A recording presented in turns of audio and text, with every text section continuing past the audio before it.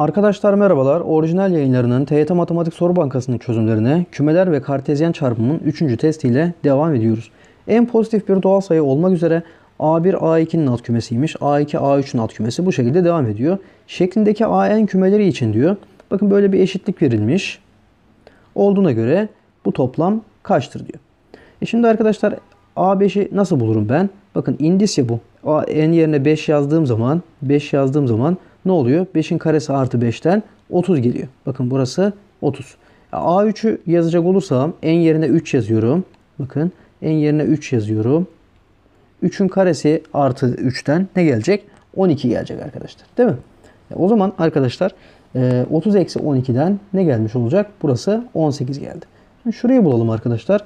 A8 ile A2'nin kesişimi. E şimdi zaten A2 şurası A2 olsun. A2 A8'in alt kümesi değil mi? Evet. E bunların kesişimi arkadaşlar A2 kümesinin kendisini vermez mi? Evet. Yani burası A2. E bu da arkadaşlar e, indis 2 olduğundan dolayı 2'nin karesi artı 2'den ne gelecek? 6 gelmiş olacak. E, 18'de 6'nın toplamı da 24 gelecek. Doğru cevabımız C şıkkı. Geldik 2'ye. A ile B'nin kesişimi boş kümeymiş arkadaşlar. Demek ki bunlar ayrı, ayrı kümeler değil mi? A ve B aynı E evrensel kümenin alt kümeleridir diyor. Tamam buna göre bu ifadenin eşiti hangisidir? A ve B kümelerini ne yapalım arkadaşlar? Şöyle çizelim. Tamam. Bunlar ayrık olacağından dolayı kesişimlerini almadım. A ile B bu da evrensel küme olmuş olsun. Bunlara bir numaralı verin. Burası 2, burası da ne olsun arkadaşlar? 3 olmuş olsun. A'nın tümleyeni. A'nın tümleyeni nedir arkadaşlar? Ee, birin dışındakiler yani 2 ile 3. Bunun farkı neyden farkı? B'den farkı. E, B ne arkadaşlar? E, B'de 2 değil mi? E, bunun 2'den farkı arkadaşlar 2 ile 3'ün 2'den farkı nedir? 3'tür. Değil mi? Bu 3'tür. Evet. Bu, bunun tümleyeni. Bakın şuradaki tümleyen ifadesi var. E 3'ün tümleyeni nedir? 1 ve 1 ve 2'dir arkadaşlar. 1 ve 2'dir. Bununla neyi kesiştirecekmişim ben? E'nin e, E'den B'nin farkını arkadaşlar. E nedir? Bakın E nedir? 1, 2, 3 değil mi? Evet. Bunun B'nin tümleyeninden farkı. E B ne arkadaşlar? 2. 2'nin tümleyeni ne? 1 ve 3'tür. 1, 2, 3'ün 1 ve 3'ten farkı nedir? 2'dir. Yazık arkadaşlar 1 ile 2 ile 2'yi kesiştirdiğim zaman ne olacaktır? 2 olacaktır. E 2 dediğimde B kümesinin kendisi değil mi? Buna göre doğru cevabımız C şık. Geldik 3'e. N ve K kümeleri tanımlanıyor. Buna göre bu koşulu sağlayan kaç farklı T kümesi yazılabilir diye soruyor arkadaşlar. N'nin K'dan farkı nedir? Bakın N'nin K'dan farkı nedir? 1 var, 2 var. 3 ile 4 burada olduğu için arkadaşlar N'nin K'dan farkı sadece neydir arkadaşlar? Şurası 1 ve 2 olacak. Değil mi? Bu T kümesi bu şekilde arkadaşlar. N birleşim K kümesi de bakın hepsini birleştirecek olursam A var, B var. 1, 2, 3, 4 ve 5. Şimdi arkadaşlar T kümesi e, bak 1 ve 2 T'nin altında olacağından dolayı bir kere T kümesi 1 ve 2'yi kesinlikle ama kesinlikle barındırmak zorunda. Değil mi? Bunlar zaten ne olacak arkadaşlar? Olacak. E şimdi şu kümenin de altında olacağına göre arkadaşlar değil mi? E o zaman benim T kümesini ne yapmam lazım? 1 ve 2 olacak ya. Geri kalan 5 tane e, elemanla kaç tane alt küme yazabilirim ben arkadaşlar? 2 üzeri 5 tane. Yani 32 tane. Tamam. Buna göre doğru cevabımız B şıkkı. Geldik 4'e. A ve B E evrensel kümenin iki alt kümesidir diyor. Bakın e, A eksi B. Bakın bu eşitlikler verilmiş arkadaşlar. A birleşim B kümesinin eleman sayısı kaçtır diyor. Hemen şöyle yapalım. A kümesi B kümesi olsun. Şu da ne olsun arkadaşlar? Evrensel kümemiz olsun. Bunlara isim verelim. A diyelim, B diyelim, C diyelim. Buraya da D diyelim arkadaşlar. A'nın B'den farkı nedir? A'nın B'den farkı sadece bakın A'dır. Değil mi? Artı B'nin A'dan farkı ne? B'de olup da A'da olmayan yani. B'de olacak, A'da olmayacak. O da C'dir. Değil mi? Şurası C. Peki C'nin tümleyeni ne? Şuradakinden dolayı arkadaşlar. C'nin tümleyeni A, B ve D'dir. E bu arkadaşlar nedir? 2A artı B artı D eşittir 12'ymiş. Şimdi şuraya geçelim. B'nin A'dan farkı. B'nin A'dan farkı neydi arkadaşlar? B'nin A'dan farkı C'ydi. Değil mi? Artı şuraya geldim. A'nın B'den farkı e, o da arkadaşlar yukarıda da bulmuştuk A'ydı. Fakat A'nın bir de tümleyeni. E, A'nın tümleyeni A'nın dışındakiler yani B artı C artı D'dir. Buradan da arkadaşlar e, ne gelecek? B artı 2C artı D eşittir 16. Şimdi şurayı yorumlayalım arkadaşlar. Bu da nedir? Ee, A'nın tümleyeni. A'nın tümleyeni nedir arkadaşlar? B e, pardon A'nın tümleyeni A'nın dışındakiler yani. C ile D. Tamam. Kesişim.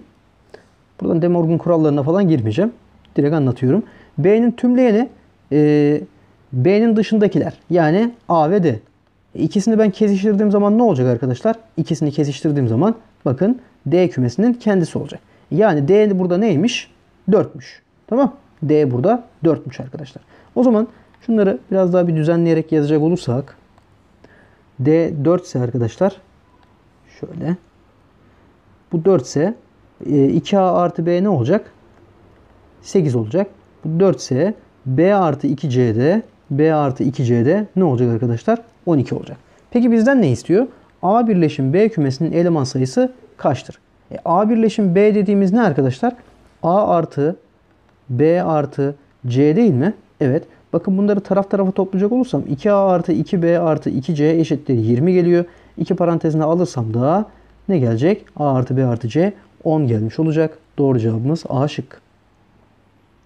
Geldik kaçıncı soruya? Beşinci soruyu. Yukarıda verilen bir boş bırakmadık değil mi? Tamam. Evet. Yukarıda verilen boş kümeden farklı A, B, C e, ve D kümeleri için diyor. Bakın bu öncüller verilmiş olduğuna göre bu kümelerin gösterimi aşağıdakilerden hangisi gibi olabilir? Şu daha kolay olduğu için önce bunu bir e, bakalım arkadaşlar hangi şık sağlıyor. Şimdi D kümesi C'nin alt kümesiymiş. Bakın A şıkkına baktığım zaman D kümesi C'nin alt kümesi falan değil. Değil mi? Yani şöyle bir şey olması lazım arkadaşlar. Şu C olması lazım.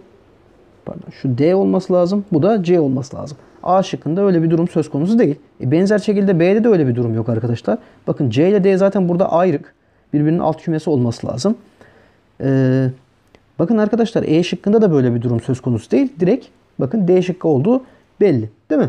Gerçekten de burada D C'nin altında. Tabi ilk koşulda sağlıyor mu? Şuna da bakalım. A kesişim B arkadaşlar C'yi kapsayacak. Değil mi? A kesişim B. E, A kesişim B dediğimiz şu mavi yer değil mi? Evet.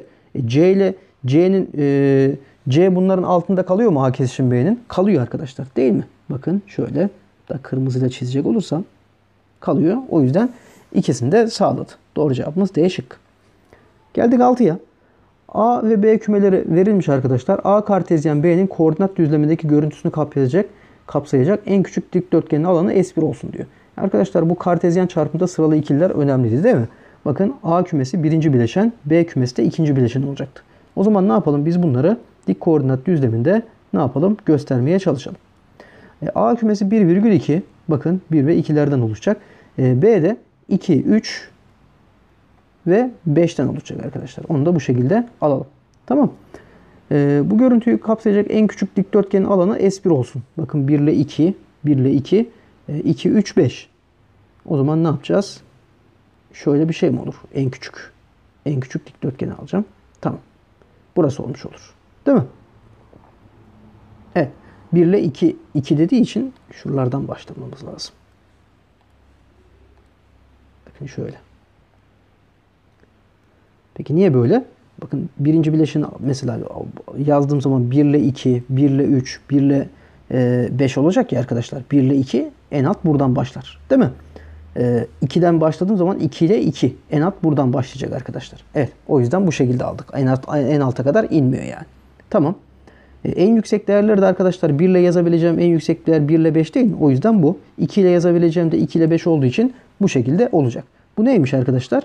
S1'miş. E peki ben bunun alanını bulacak olursam bunun alanı nedir? 2 ile 1'in farkı burası 1. E 2 ile 5'in farkı da 3. E bu dikdörtgenin alanı 1 çarpı 3'ten ne olacak arkadaşlar? 3 gelmiş olacak. Peki bizden ne istiyor? A kümesinde 4 tane, B kümesinde de bir tane farklı doğal sayı eklendiğinde yeni görüntüyü kapsayacak olan en küçük dikdörtgenin alanı S1'in kaç katıdır diyor. E şimdi bunlara ne yapalım arkadaşlar? Eklemeler yapalım. E, A'ya 4 tane. A dediğimiz x ekseni üzerinde aldığım 3, 4, 5 ve 6 olsun arkadaşlar. E, B'ye de bir tane e, değil mi? Bir tane ekleyeceğim arkadaşlar. E, en küçük dikdörtgeni aradığım için o B'den de ne alayım arkadaşlar? Şu aradakini alayım. Tamam mı? Bu dikdörtgeni de kapsayacak şekilde. O zaman bu dikdörtgeni kapsayacaksa ne olacak? Şöyle gelecek. Şu şekilde olacak arkadaşlar. Şöyle. Şu alt kısmı bir silelim. Tamam. Evet. Şöyle yapalım. Tamam. E şimdi arkadaşlar bakın 5 ile 2'nin arasındaki fark yine 3 olacak. Değil mi? E 6 ile 1'in arasındaki fark da 5 olduğundan dolayı 5 çarpı 3'ten ne olacak? 15 olacak arkadaşlar. E peki S1 neydi? S1 de 3'tü. Bu bunun kaç katı? Bakın 5 katı. Doğru cevabımız D şık. Geldik 7'ye. A, B, C ve A, D e, E kümesinin E evrensel kümesinin alt kümeleridir diyor. E, olduğuna göre SE kaçtır? Biz biliyoruz ki arkadaşlar SA ile SA üssü ne olacak? Evrensel küme olacak. Şöyle gösterecek olursak bakın bu A kümesi bu da evrensel küme olsun arkadaşlar. E, A kümesi dediğimiz bu. E, A'nın tümleyeni dediğimizde dışı değil mi? E, arkadaşlar bu E kümesini vermiyor mu? İşte evrensel kümeyi veriyor. O yüzden bunu arayacağız arkadaşlar. SE'yi soruyor ya burada.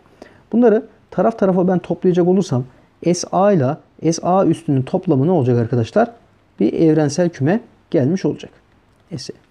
Ee, bakın B ile B'nin tümleyeni ne olacak? Buradan da e, SE gelmiş olacak arkadaşlar. Benzer şekilde C ile C'nin e, tümleyeninden de yine SE gelecek. D ve D'nin tümleyeninden de yine SE gelecek arkadaşlar. Bunları topladığım zaman 51 60 mı geliyor? E 4 tane SE 60 ise bir tane SE ne olacak? 15 olmuş olacak. Doğru cevabımız B şıkkı. Gelelim 8. soruya. A ve B e, kümeleri verilmiş. A kesişim B kümesinin elemanlarının sayı değerlerinin toplamı kaçtır diyor. A kümesi zaten belli. E, B kümesini bulacak olursak bakın e, A'nın elemanlarından seç diyor. Tamam mı? Ama e, iki katlarını al diyor arkadaşlar. İki katını al diyor. E, o zaman B kümesinin elemanları ne olacak? E, 1'in iki katı ne olacak arkadaşlar? 2. 2'nin 2 4. E, 4'ün 2 8. 6'nın 2 12. 8'in 16. 12'nin de 24 olacak. E, A ile B'nin ortak elemanları ne olacak arkadaşlar? Ortak elemanları bakın 2 var. E, 4 var. Başka 8 var. Bir de 12 var. Değil mi? E bunları toplayacak olursam o zaman A kesişim B'yi oluşturacak olsam 2, 4, 8 ve 12. E bunları topladığım zaman 12 ile 8'i toplarım 20. 4 ile 2'nin toplamı da 6. 26 olacak. Doğru cevabımız E şık. Geldik 9'a. A, B, C kümeleri için diyor. İfadelerinden hangileri doğrudur? A'nın eleman sayısıyla B'nin eleman sayısının toplamı 5'miş. Bakın A'nın eleman sayısı ne? Bakın şu virgüle kadar alacaktık değil mi? Bu 3 elemanlı değil. Bakın bu 1 elemanlı. Virgülle ayrılmış. 4 de ikinci elemanı. Yani A'nın eleman sayısı 2 olacak. B'nin eleman sayısı da yine benzer şekilde bakın şuraya kadar 1. Şurası 2. Bu da 3. 2 artı 3'ten 5. Bakın bu da 5 demiş zaten. Birinci öncül doğru. C ikinci öncüle bakacak olursam C A'nın alt kümesidir demiş. Bakın. E şimdi C arkadaşlar bu, bu şekilde değil mi? Yani birin dışında ne var? Parantez var. Birin dışında parantez var. E şimdi A kümesine baktığım zaman bir de parantez var mı yani şu şekilde? Yok. E olmadığı için arkadaşlar C kümesi A kümesinin alt kümesidir diyemeyiz. Tamam mı? Parantezli olsaydı oradaki bir o zaman olurdu. Şimdi burada da aynı şekilde e, A kümesi B kümesinin alt kümesidir diyor. Buna da bakalım. B A kümesi B kümesinin alt kümesidir diyor. E şimdi B kümesine baktığım zaman arkadaşlar mesela burada 3 var. E şimdi A kümesinin pardon şimdi tam tersine bakacağız. Şimdi şöyle şimdi arkadaşlar e, burada B kümesine bakacak olursak pardon A kümesine mesela burada ne yok? Bakın e, 3 yok değil mi? Hatta hiç oralara girmeye de gerek yok ya. Bak şimdi A kümesinde ne var? Bakın A kümesinde. Şimdi arkadaşlar 1, 2, 3. Yani şu şekilde şunu eleman olarak barındırıyor. E, peki B kümesinde böyle var mı? Böyle bir küme var mı? Yok. E, yoksa arkadaşlar o onu kapsamaz ki. Yani B A'yı kapsamaz. Tamam? O yüzden üçüncü öncül de yanlış olacak. Yalnız bir doğru. Geldik 10. soruya. B kümesi verilmiş arkadaşlar. Elemanları ardışık sayılardan oluşan kümesinin tüm 3 elemanlı alt kümelerinden 9 tanesinin elemanları ardışık sayılardan oluştuğuna göre B kümesinin 2 elemanlı alt küme sayısı kaçtır? E o zaman benim ne yapmam lazım?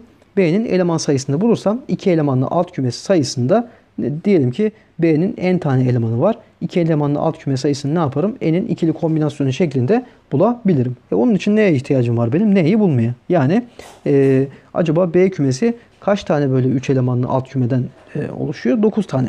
O zaman ne yapacağım? B kümesinin kaç elemanlı olduğunu buradan yola çıkarak bulmaya çalışacağım arkadaşlar.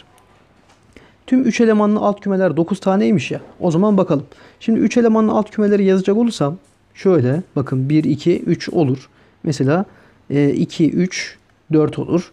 İşte 3, 4, 5 olur. Değil mi? Mesela bir tane daha yazalım. 4, 5, 6 olur. Bu şekilde nereye kadar gider arkadaşlar? 9 tane olacak ya. Bakın ben şimdi nereden başladım? 1'den başladım. 1, 2, 3, 4 tane. E toplamda ne olacak arkadaşlar? 9 tane olacağından dolayı 9, 10 ve 11 olacak. Değil mi? E toplamda arkadaşlar 9 tane oldu mu? Oldu. E şimdi o zaman bak küme olarak e, eleman 11'de bulundurduğundan dolayı arkadaşlar burada biz n'in 11 olduğunu söyleyebiliriz. Demek ki 11 elemanmış. E 11'in ikili kombinasyonu dediğimizde bu şekilde yazarız. 11 çarpı 10 bölü 2'den arkadaşlar sadeleştirdiğim zaman ne gelecek? 55 gelecek. Doğru cevabımız C şıkkı. Geldik 11'e. Boş kümeden farklı KLM kümeleri için. Ne demek bu boş kümeden farklı? Hepsinin en az bir tane elemanı olacak demek. Evet. Bakın e, böyle K L'nin alt kümesiymiş. L de M'nin alt kümesiymiş arkadaşlar. O zaman şunları çizecek olursak K, L bu da ne olsun? M olsun. Bakın K, L burası da M arkadaşlar. E bunlar boştan farklı olacağına göre demek ki burada en az bir tane eleman ne olacak arkadaşlar? Olacak. Tamam. Peki bizden ne istiyor? L eksi K e, ile M'nin kesişimi en çok kaç elemanlıdır? E o zaman arkadaşlar benim ne yapmam lazım? E, ortak elemanları çok tutmam lazım. Yani L'nin K'dan farkı çok olması lazım. L'nin K'dan farkı dediğimiz yer neresi arkadaşlar? Bakın şu aradaki halka değil mi? Burası buradaki boşluk arkadaşlar. E, K'da da bir tane eleman olacağına göre o zaman buraya ne yapmam lazım? Benim en az bir tane bir, bir vermem lazım. E, o yüzden L eksi K arkadaşlar e, ne olur? Bakın ne olur? E, şimdi buradaki elemanları da birbirine yakın tutmam lazım. M ile şu L eksi K niye? Elemanları en çok olsun diye arkadaşlar. Tamam mı? O zaman ne diyebilirim? Bakın buraya 10 desem 10 desem. Şimdi L eksi K'nın e, farkı ne olacak arkadaşlar? 10. Yani L'nin K'dan farklı elemanları kaç tane olacak? Bakın 10 tane. Değil mi? Evet. E, M kümesi ne olacak arkadaşlar? Burada da en az bir tane olmayacak mı? Bir tane en az mecbur olacak arkadaşlar. Evet. E, o zaman arkadaşlar M kümesi de kaç elemanlı olmuş oluyor? Bakın M kümesi de kaç elemanlı olmuş oluyor? Değil mi? Şuradakini anladın. Çünkü buraya hiçbir eleman vermediğimiz zaman sanki L kümesi ile M kümesi aynı eşit e, aynı kümelermiş gibi olur. Tamam? O yüzden buraya da bir eleman vermiş olduk. Arkadaşlar M kümesi o zaman ne olmuş oldu? M küme en e, büyük küme olduğundan dolayı 1, 10 ve 1 toplamda 12 eleman olmuş oldu arkadaşlar. Bunun 10, bunun da 12 eleman oldu. E, kesişimleri ne olacak arkadaşlar? Kesişimleri bakın L eksi K kümesi M kümesinin alt kümesi olduğundan dolayı kesişimleri de ne olacak? L eksi K kümesine eşit olmuş olacak. Yani burası L eksi K olacak arkadaşlar. Şu ifadenin sonucu. E bu da 10 olarak bulduk. Değil mi? O yüzden 10 elemanlı olacak. Tamam. Doğru cevabımız bakın C şık. Geldik 12. ve son sorumuza. 420 haneleri bir köyde, köyde her aile A, B ve C ürünlerinden en az birini üretiyor diyor. O şöyle bir çizelim arkadaşlar. Şöyle, şöyle, şöyle çizelim. Tamam. Şu A olsun, şu B olsun, şu da ne olsun? C olsun. En az bir tanesini üretecekmiş. Yani dışarıda e, herhangi bir elemanımız olmayacak arkadaşlar. Olmayacağından dolayı bunu çizmeye de gerek yok. Tamam Anlatmak için gösterdim sadece. E, şu 420'yi de bir not edelim şöyle. A ürününü üreten herkes B ürününü de üretiyor. Ne demek bu? A, B'nin alt kümesi demek. O zaman arkadaşlar A, B'nin alt kümesi olacaksa B'den herhangi bir farklı elemanı ne olacak? Olmayacak. O zaman şuraları ne yapmam lazım? Benim bir silmem lazım. Evet. Yani bizim aslında A kümemiz A kümemiz ne oldu? Şu aradaki aslında bölge olmuş oldu arkadaşlar. Tamam mı? Evet. Tamam. Ee, ikinci öncüle bakalım. Ürünleri üreten aile sayısı ürettikleri ürün çeşidi sayısıyla ters orantılıdır. Yani ürettikleri ürün çeşidi sayısıyla ters orantılı. Ters orantılıysa arkadaşlar çarpım durumunda olacak. Değil mi? Evet. Şimdi bakalım aile sayısına bakalım. Ürettikleri ürünlere bakalım arkadaşlar daha doğrusu. Şulara isim verecek olursam A, B, C, D ve E olsun. Tamam. Şimdi A'ya bakalım arkadaşlar. A kimin elemanı? A bakın şuradaki A şöyle şuradaki A hem A kümesinin hem de B kümesinin elemanı. Değil mi? Kaç tane var arkadaşlar? 2. 2 tane elemanın kümesi ya. 2 kümenin elemanı ya. O yüzden A ile 2'yi ne yapacağım arkadaşlar? Çarpım durumunda yazmam lazım. Niye? Ters orantı olduğu için. Şimdi B'ye bakalım. B'ye bakalım. B arkadaşlar hem A'nın hem B'nin hem de C'nin. Üçünün kesişim bölgesinde olduğu için 3 tane e, ürün çeşidi var. O yüzden 3 ile B'yi ne yaptım? Çarpım durumunda e, yazdım arkadaşlar. Ters orantı olduğundan dolayı. Şöyle sığmayacak. Şu tarafa alayım. Şimdi C'ye bakacak olursam C'ye bakacak olursam C sadece arkadaşlar e, kimin elemanı burada? Sadece B'nin B'nin e, B kümesinde değil mi? Başka herhangi bir ortak eleman yok. O yüzden ne yaptım? C yazdım. Eşittir. E, D'ye bakacak olursam, şuradaki D'ye bakacak olursam hem B'nin hem de C kümesinin ortak elemanı. O yüzden 2D olarak yazdım arkadaşlar. Son olarak da E'ye bakacak olursam sadece C kümesinde olduğu için 1 ile de E'yi çarptığım zaman E olacak. Buna ne yapalım? Orantı sabitimiz ne olsun arkadaşlar? Hem 2 hem 3 değil mi? O katları olan 6K olsun. Bundan dolayı 2A 6K ise A buradan 3K gelecek. B 2K gelecek. C 6K gelecek. D 3K gelecek. E de ne gelecek? 6K gelecek. E bunların hepsinin toplamı 420 değil miydi? Toplayalım. 3, 5, 11, 17, 20. 20K eşittir 420 oldu. Sıfırlar birbirini götürdü. 2K 42 ise K da buradan ne geldi? 21 gelmiş oldu. Peki bizden ne istiyor? Buna göre B ve C ürününü üretip A ürününü üretmeyen kaç aile vardır? B ve C ürününü üretecek, A ürününü üretmeyen. B ve C'yi üreten değil mi? Ee, B ve C'yi üretecek arkadaşlar A'yı üretmeyen. E, o da D değil mi? Bakın şu D değil mi? E, D'nin kendisi. E, arkadaşlar D'de 3K değil mi? Evet. D'de 3K değil mi? Evet. O zaman 21 ile de 3 çarparsam ne gelecek? 63 gelmiş olacak. Bakın B ve C ürününü üretecek. Yani bu ne demek? Aslında B kesişim C demek. Değil mi? Buradan A'yı A'nın farkını çıkarmam lazım. Tamam Bunu soruyor aslında. B kesişim C dediğimizde burada arkadaşlar e, şimdi B ve D ama yani B de var burada ama A'dan farkı olduğu için o yüzden D olarak aldık. Anlaştık mı? Bu D. D'ye eşit. E, D'de 3K olduğundan dolayı arkadaşlar 21 çarpı 3'ten 63 olmuş oldu. Bence bu soru güzeldi arkadaşlar. Buna bir yıldız atalım. Özellikle şu ikinci öncülü anlamak e, çok da kolay iş değil bence. Evet arkadaşlar bugünlük bu kadar. Beni dinlediğiniz için teşekkür ederim. Bir sonraki dersimizde görüşmek üzere. Hoşçakalın. En güzel üniversiteler sizlerin olsun.